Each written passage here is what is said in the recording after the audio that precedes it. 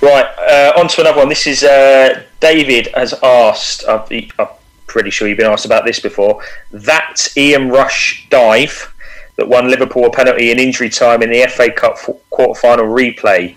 It still sticks in his throat. I'm pretty sure it sticks in yours too. I think what he's asking is, was it a penalty? Now I know the answer to this. Do you?